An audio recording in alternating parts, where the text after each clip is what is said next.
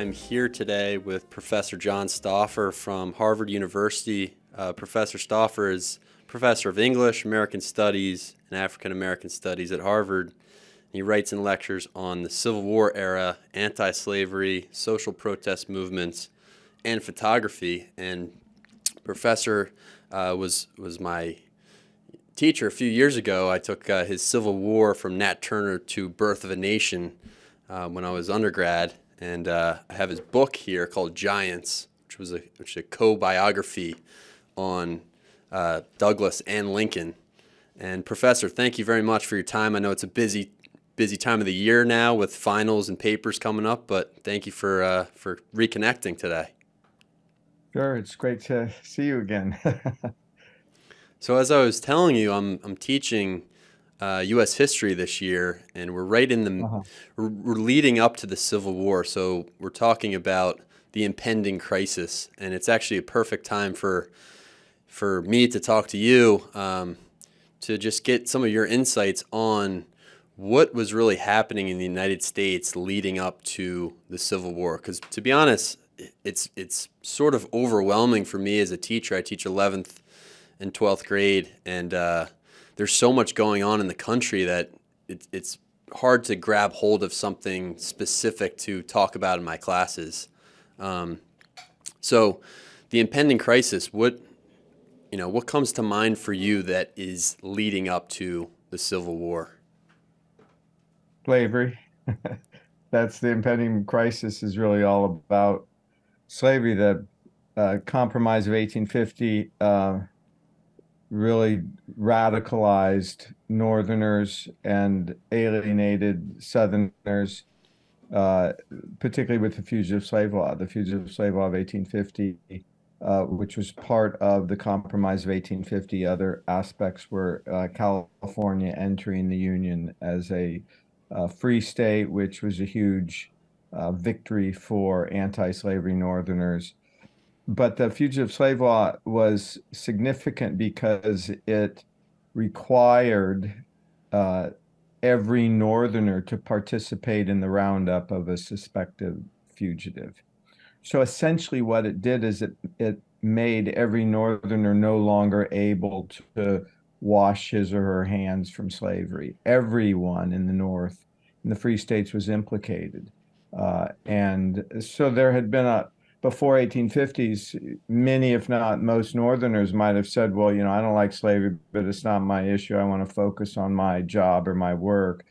Uh, whereas after the after the uh, Compromise of 1850, the Fugitive Slave Law, you could no longer wash your hands from the problem. You were uh, implicated because the Fugitive Slave Law uh, stipulated that anyone could be um, could be uh, deputized and forced to round up a suspected fugitive in your community. Um, and so essentially that forced people to take a stand that they could no longer sit on the fence.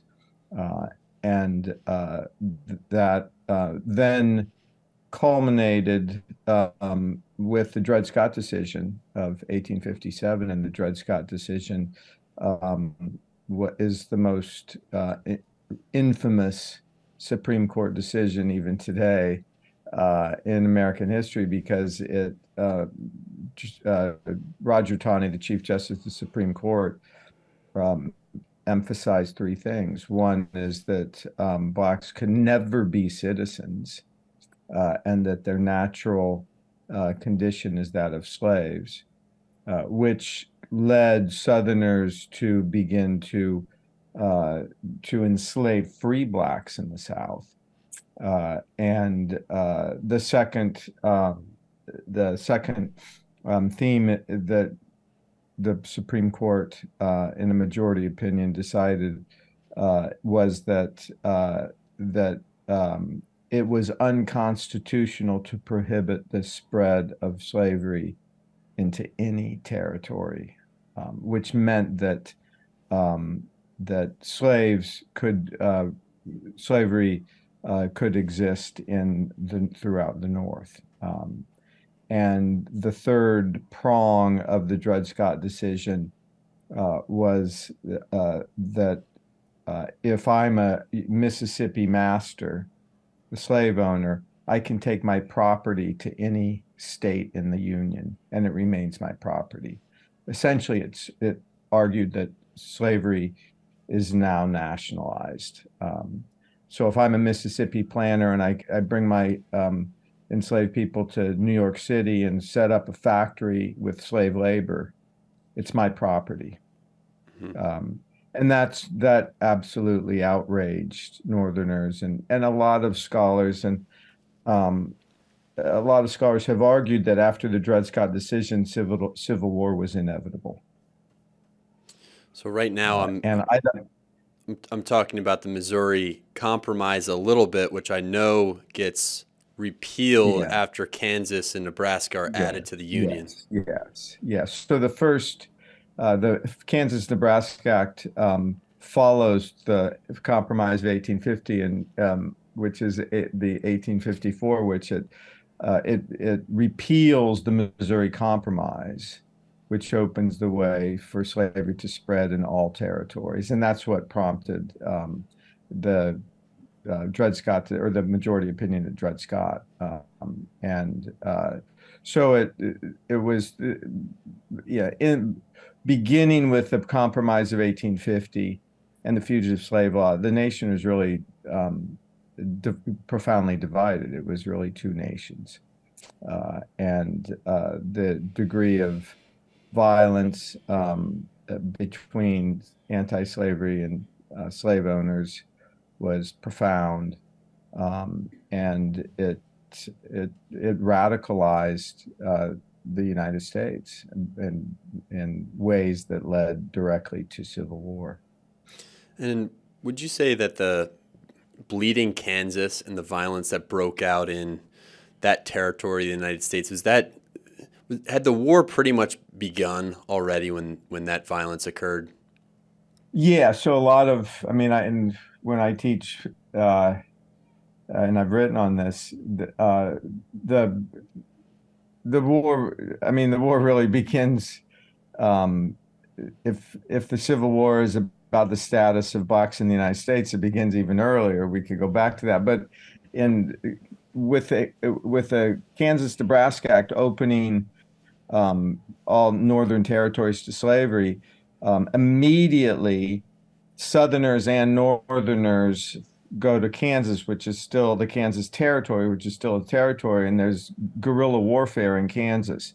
And Southerners send uh, thousands of um, men to Kansas with guns and uh, weapon, other weapons, and there's horrible um, guerrilla warfare in Kansas.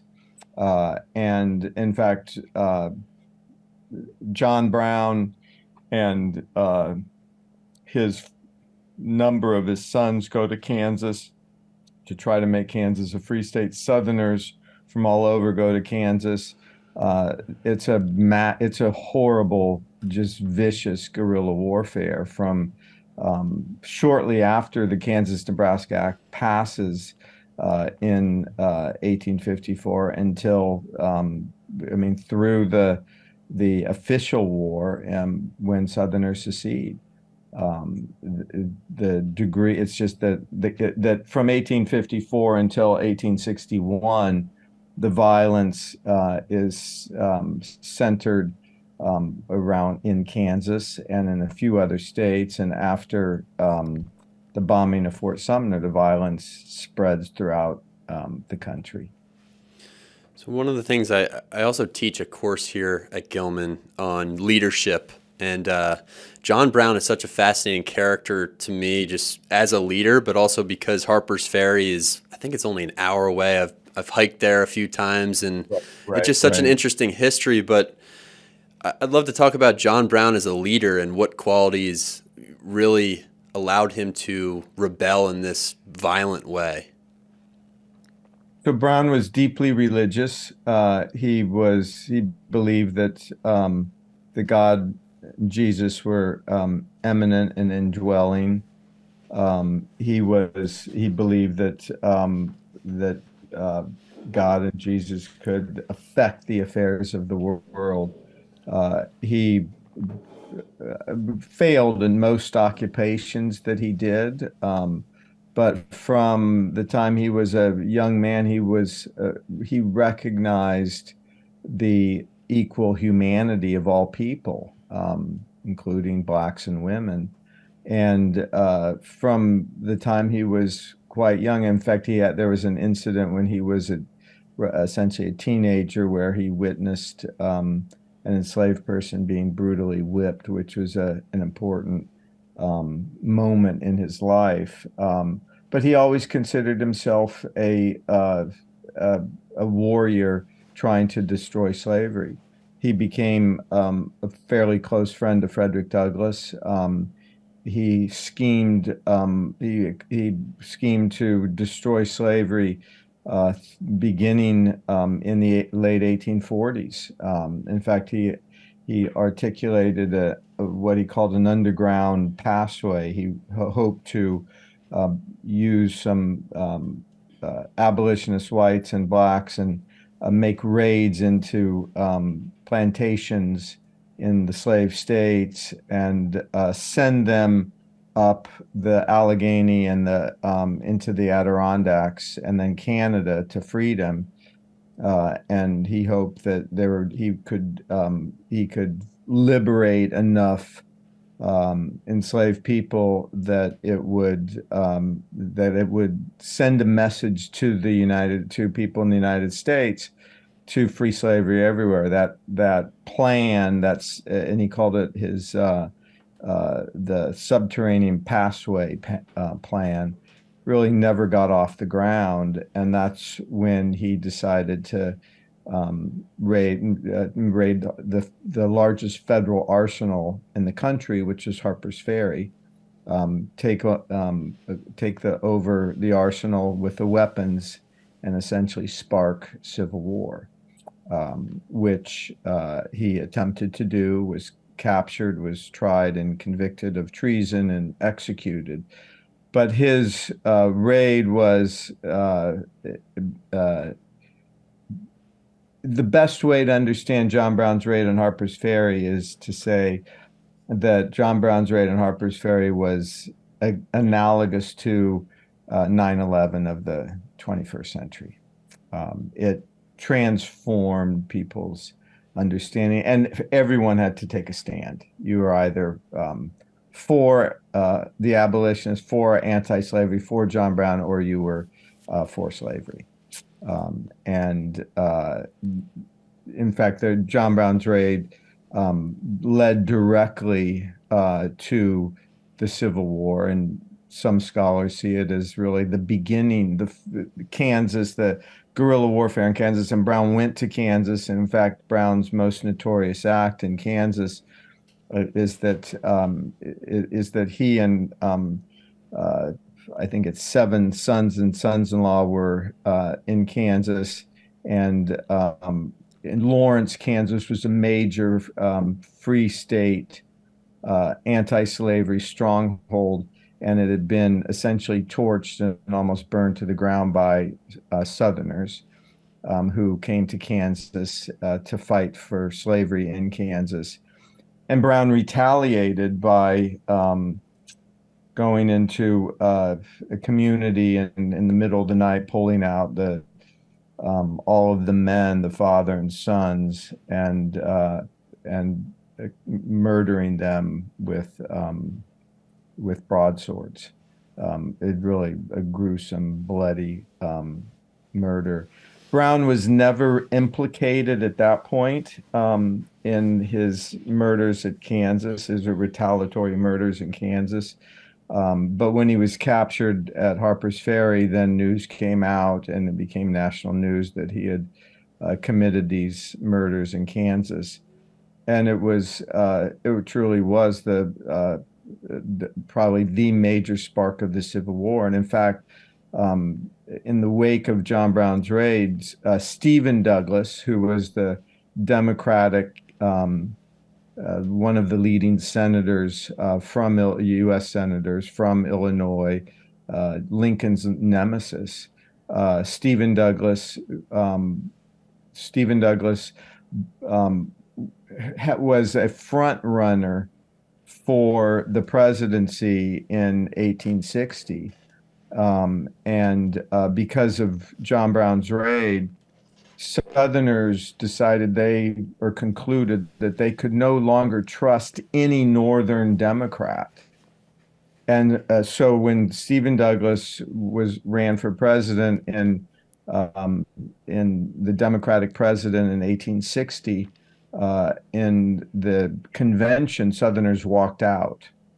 They said, We cannot trust Stephen Douglas. We cannot trust any Democratic Northerner. So they created their own uh, their own Southern Democratic Party, uh, in which John Breckinridge was the uh, Southern Democratic candidate, Stephen Douglas was the Northern Democratic candidate, and uh, the split. So the, the 1860 election was a four-way race between a Southern Democrat and Northern Democrat. Lincoln is running as the second um, Republican candidate, and the Republican Party, which was founded in the wake, uh, in in the immediate wake of uh, the Kansas-Nebraska Act. Um, it, it, was the first national party um, in, in, which anti-slavery was the central platform. And uh, Southerners made it clear that if a Republican had been, if a Republican were elected president, Southerners would walk out. Um, and they they threatened to do it in 1856 uh, when John C. Fremont, who was the very first Republican candidate, um, ran for president. And uh, when Lincoln was elected, the very next day, South Carolina announced its secession convention. Um, so it highlights the the the radical, profound split in the nation um, that uh, is a result in part of John Brown's raid. So I've been reading a little bit of uh, Lincoln and Douglas debates, and in in their debates with each other, Lincoln doesn't he doesn't take. I mean, I guess this is a little bit earlier from the period that we're we're talking about now, but right. he doesn't take a um, like total anti-slavery position then, but then in 1860 he does, and, and that's what the Republican Party represented at that time.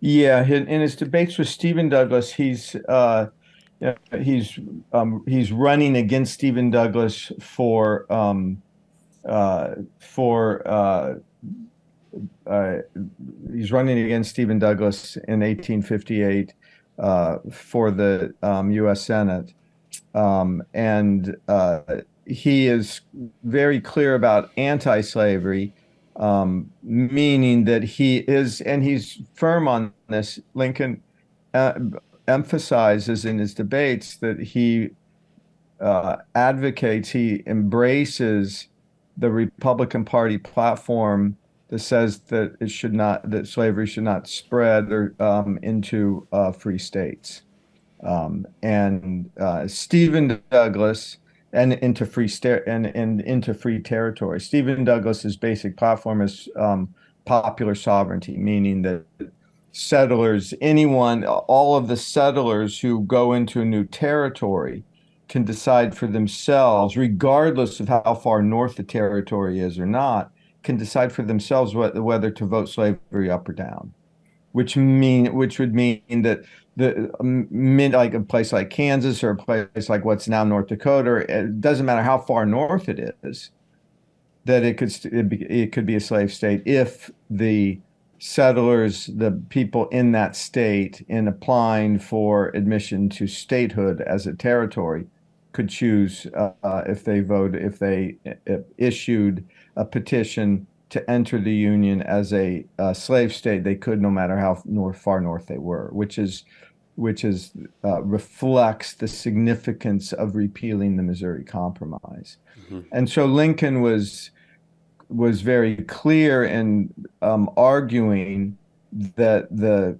um, squ- what, what Lincoln called squatter sovereignty rather than popular sovereignty uh, that was um, not a uh, he re- he repudiated that vision for the nation and and and very much believed uh, in restoring the Missouri Compromise line, the 3630 parallel, so that there was a line above which states would be free and below which states would states would be slave.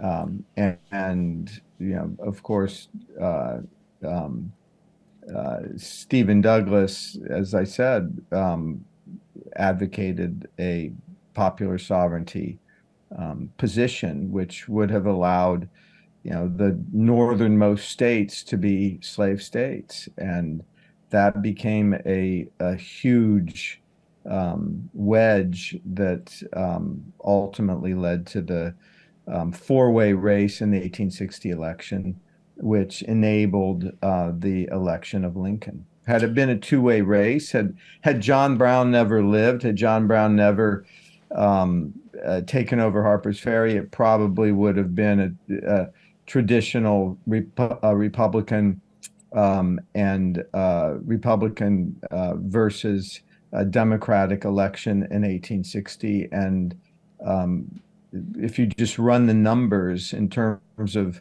the the um, the uh, the other two parties, the the Southern Democratic John Breckinridge and John Bell was trying to resuscitate the old Whig Party.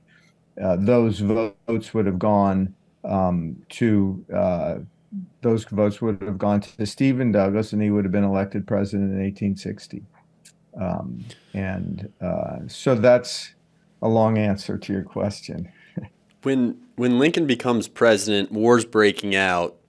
Why does he why does he care more about I mean, we know why it's important today, but why is preserving the Union so important to him rather than just curtailing slavery and keeping it in the South? Or, or at that point, was it too late to keep slavery in the in the South? Like he knew then that it was more important to preserve the Union.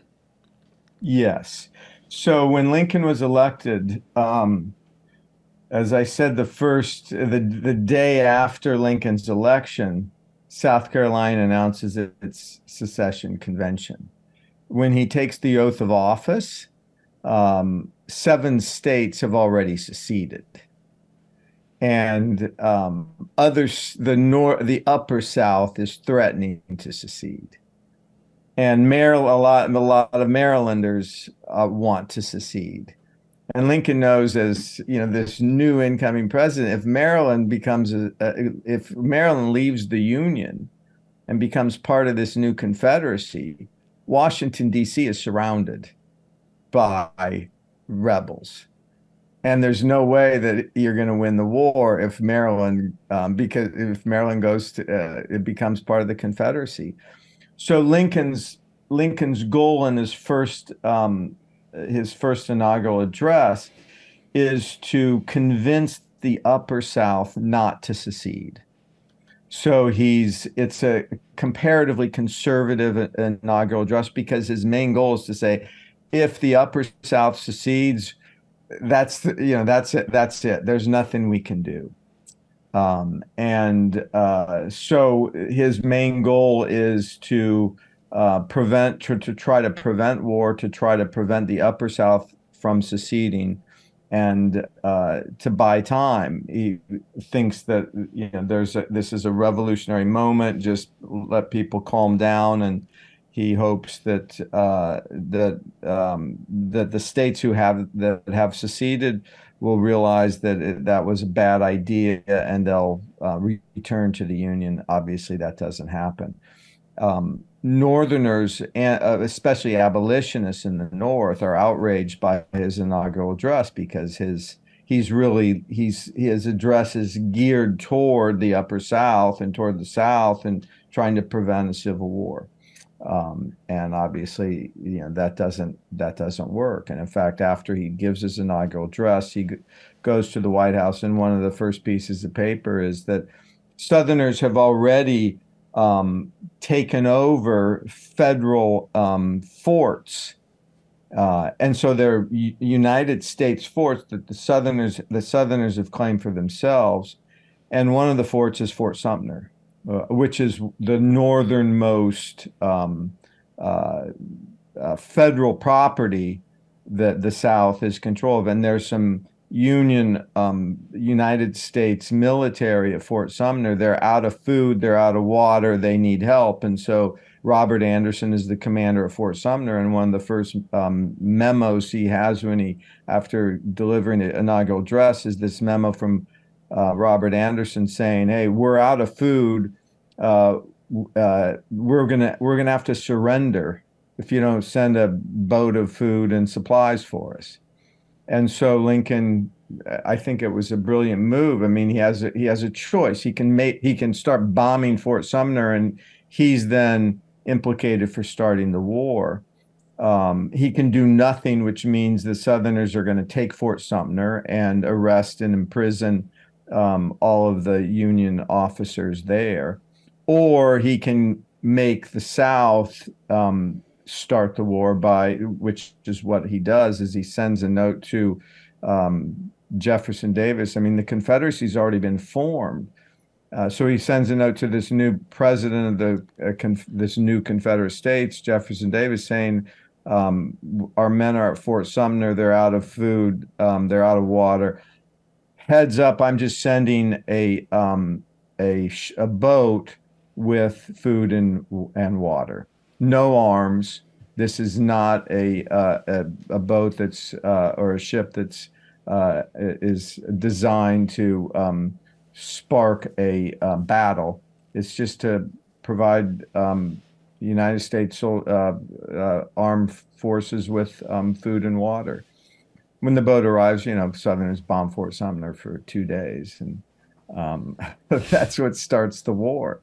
Um, and and the John Brown's raid was is is important because um, a number of leading um, pro-slavery Southerners who want a separate slave-owning union um, send uh, one of the things that Brown brings with him to Harper's Ferry are these pikes that he thinks he can use in the mountains in in a form of warfare, and he sends um, these pikes or these spears to every um, congressman saying compliments to John Brown, um, and uh, which as uh, a, is a way of suggesting that the, the the Northerners are really the aggressors. And the upshot is that um, I think Lincoln's um, first move of forcing uh, the uh, South to start the war was uh, a brilliant one because um, in doing so, uh, the bombing of Fort Sumter um, sent a message to the North saying that um, the abolitionists and the anti-slavery, the Republican Party was right that Southerners really don't care about the Union. All Southerners care about is expanding slavery. That's their only concern. Mm-hmm. They don't they don't define them, themselves as American. They define themselves as slave owners, and and um, in one sense, uh, that's accurate because at the time, from a broader global perspective, the rest of the world was abolishing slavery. As early as 1850, the United States is the largest slave owning nation on earth more slaves in the United States than any other place in the entire world. The rest of the world is abolishing slavery, and, and the United States is trying to expand slavery. In well, fact, in the decade of the decade of the 1850s, Southerners tried to take over land in Central and South America for slavery. They want to expand slavery. They want to create an empire for slavery they raid uh, they send some men into nicaragua without the support of the united states government trying to take over nicaragua what's now nicaragua for the united states. So there so in a sense you could say the southerners are the true conservatives. The best way i've characterized it to students is that it would be it would be analogous to um, the debates over um, gay marriage.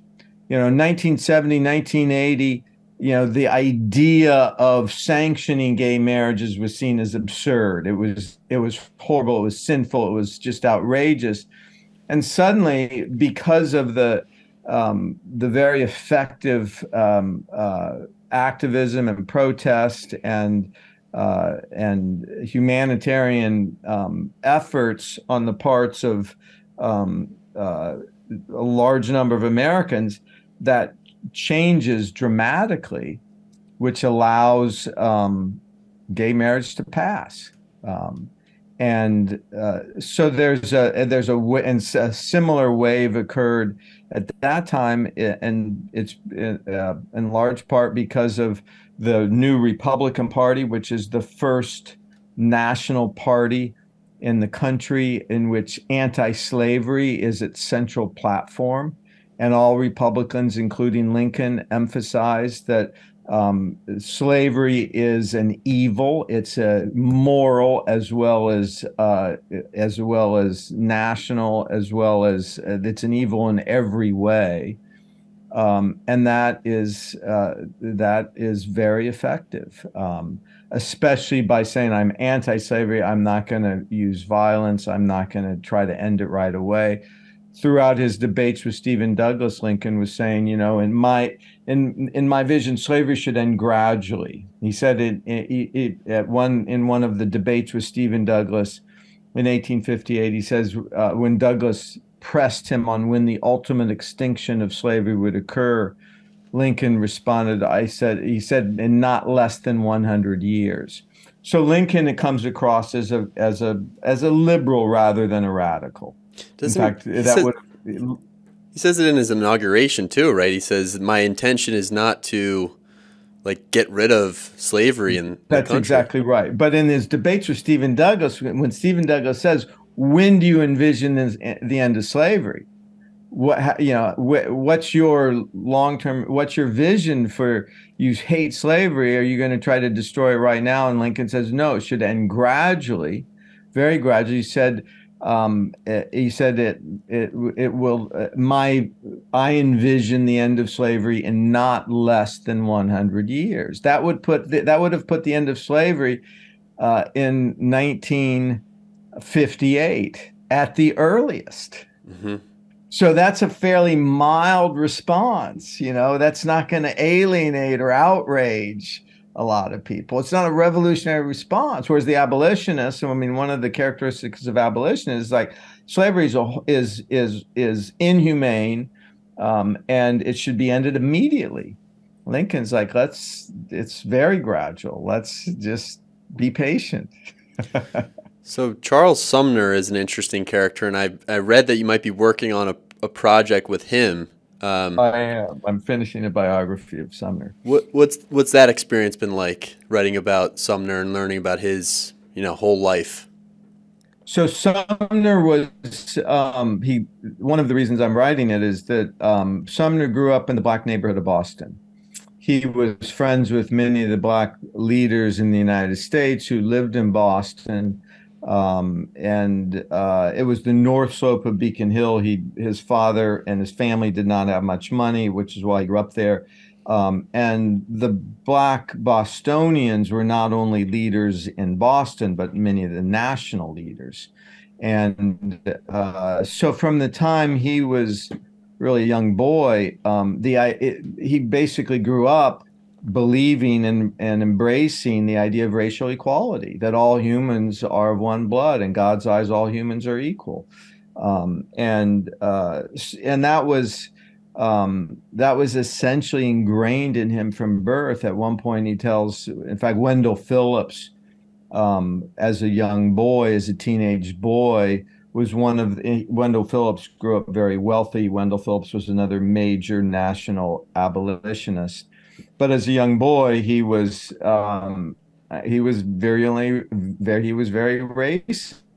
He and his buddies, his other whites, would throw rocks and beat up the black boys in um, Beacon Hill. Wendell Phillips lived in the West Slope, which is a very wealthy part of Boston. Sumner grows up in the North Slope, which was uh, most, or it was,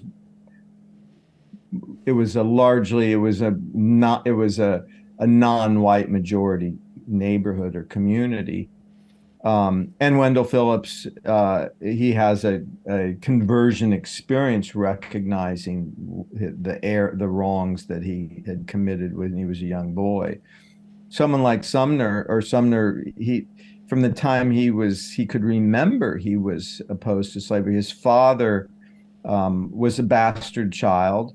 Um, he they didn't have much money, um, and his father went to San Domingo um, during the Haitian Revolution and toasted and supported uh, Toussaint Louverture and Boyer uh, in Santo Domingo, and uh, was one of the his um, one of his um, most memorable experiences. His father was a became the sheriff of um, of uh, Boston, uh, so it was a kind of plebeian position. And the upshot is that Sumner um, he what he was a, essentially a scholarship kid who went to Harvard um, loved the law in part because he felt that the law could um, destroy slavery. Um, and uh, was he also wanted to be a writer. Um, Sumner was a very close friend of Longfellow. He's a close friend of Whittier, the two preeminent poets in the United States. Um, he was uh, a friend of Melville, a friend of Hawthorne, a friend of major writers, and read their works. Uh, and he was encouraged and asked to run for the Senate actually um, by um, uh, by uh, Whittier, John Greenleaf Whittier, who was a, a Massachusetts um, Quaker um, uh, politician as well as poet, and essentially convinced Sumner that he could both he could if he were a if he ran for the U.S. Senate uh, and was a U.S. senator, he could still be a writer. Um, and I think I think Whittier was being disingenuous. He just wanted his friend to be elected.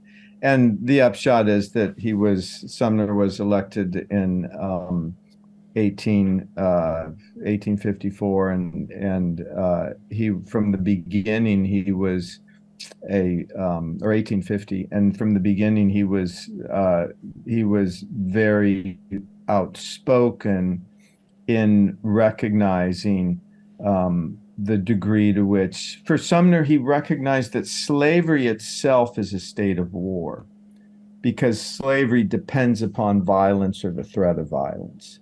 And to um, to commit violence against another human being is to get to commit violence against God.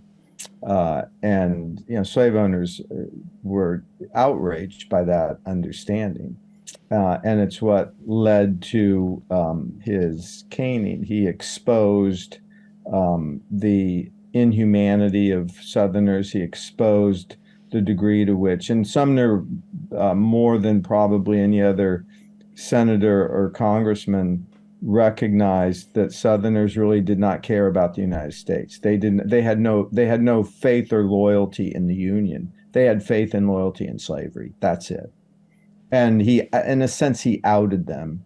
Um, and uh, Stephen Douglas and um, and uh, the uh, South Carolinian were um, both spearheading the Kansas-Nebraska Act, and uh, Sumner was did not pull any punches about exposing the the um, the anti-democratic nature of uh, their attempt to just transform the nation into a slave nation.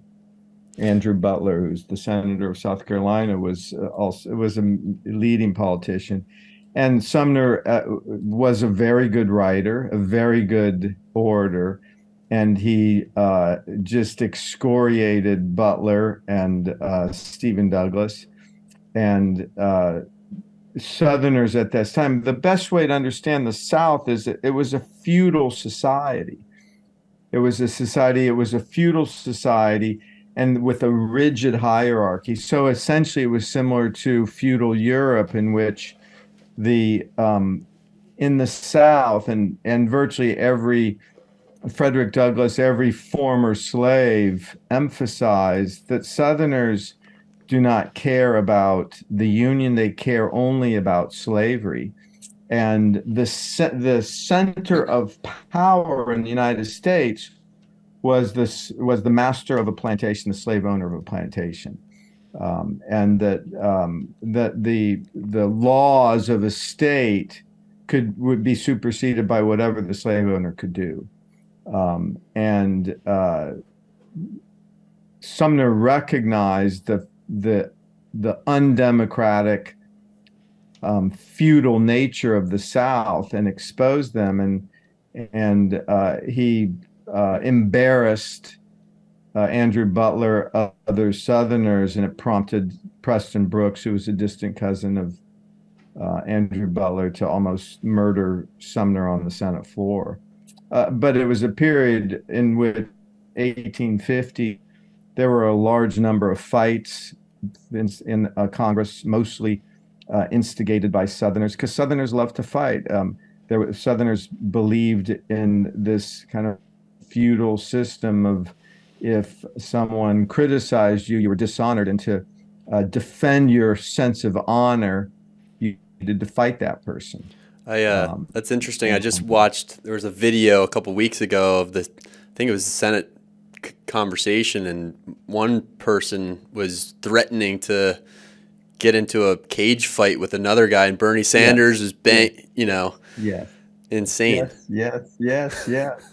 yeah. No, that still exists, and you still see it in some communities where uh, one's sense of honor has been threatened, and so they they the the solution is to fight, and uh, so Preston Brooks instead of he felt that in in the in the Southern Code of Honor, if someone was um, your subordinate and not your equal, you horsewhipped him. So essentially, Preston Brooks treated Sumner like a slave rather than like a uh, an equal, and so he he almost killed Sumner. Um, in fact, Sumner was lucky to be able to walk again, um, and uh, it took him. You know, he was out of commission. He was caned in um, in 18 uh, mid 1850s, and he does doesn't return 1856, and he doesn't return to the Senate until he's not he doesn't recover until or doesn't return until 1860. Um, and even when he returns, he has to walk with a cane. He's never the same again. He was never the same.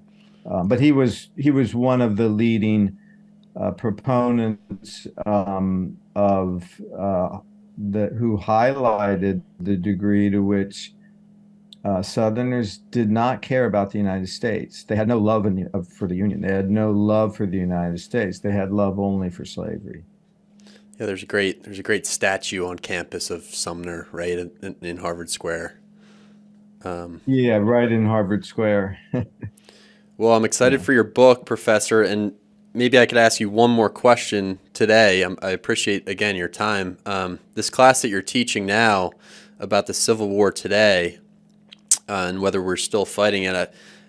I, I, I haven't talked to you about what that class is about, but one of the things that I try to do in my class with my history students, again, they're in 11th grade, and some of them are really into history, and others, you know, will take some years before they start to understand the importance of history. But I think my goal as a as a high school teacher right now is to just get them to care about the importance of learning about the Civil War and learning about Abraham Lincoln and you know recognizing the courage right. that Frederick Douglass had.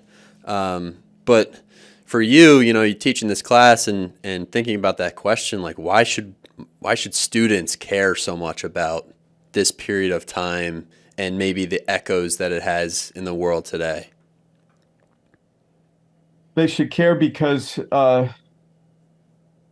one is that the United States remains somewhat fragile. There have been just in recent years um, efforts to um, for states to secede. California um, had a Cal exit. Um, they proposed to secede from the United States and establish their its their own nation, in they, this um, program called Cal Exit, which was spearheaded by a Russian.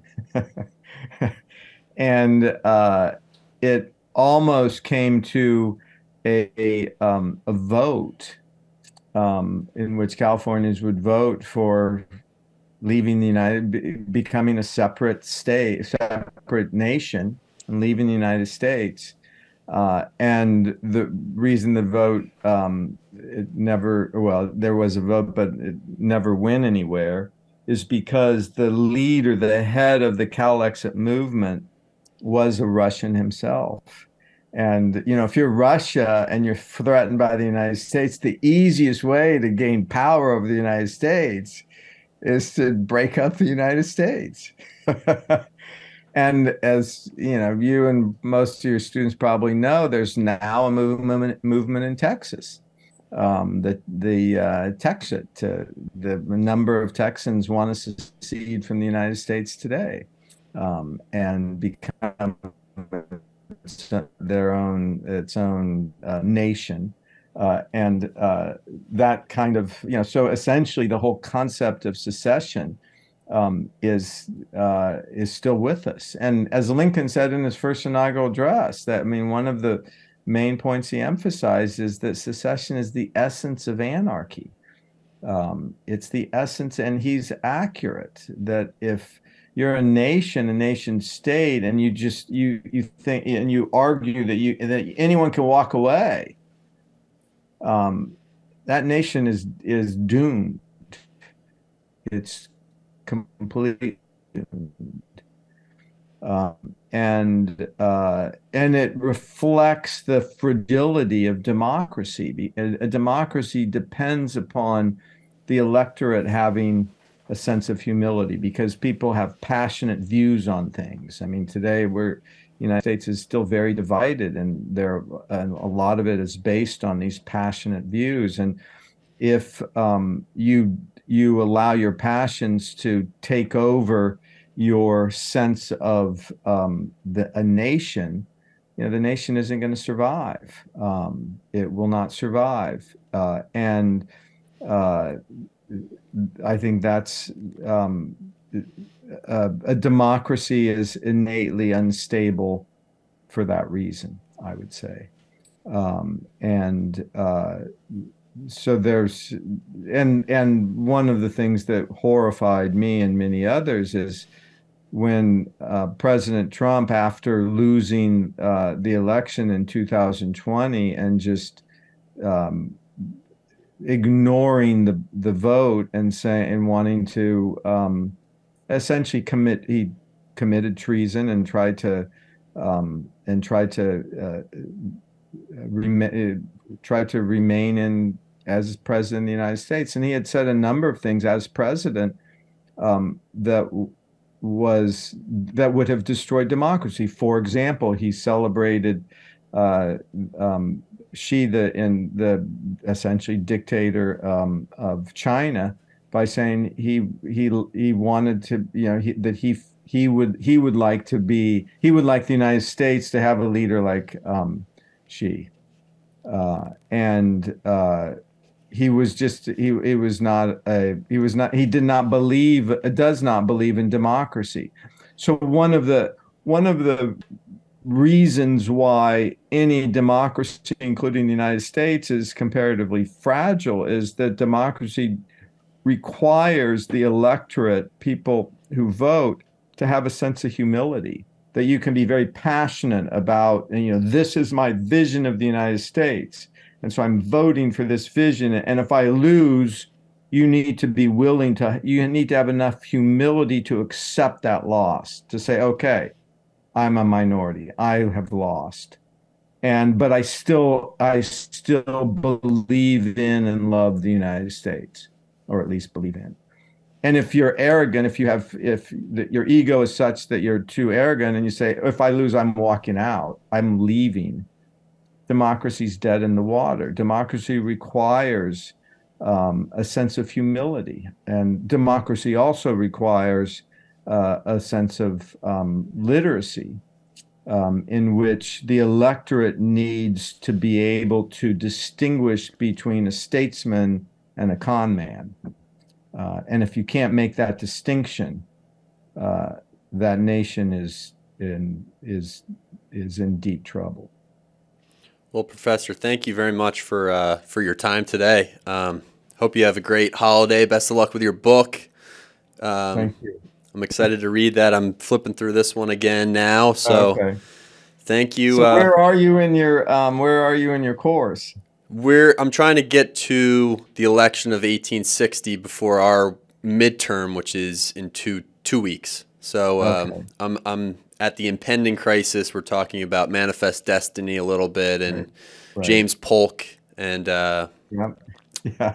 So it's it's I'm gonna have my students listen to this episode of the podcast and uh, and add some to their notes.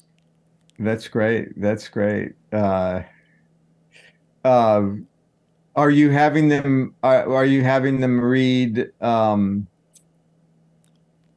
any of Lincoln's speeches or of Douglas speeches? Are you having them read Lincoln's inaugural or first inaugural? Absolutely. Yeah. Yeah. Yes. Yeah, that's a, that's a fascinating address.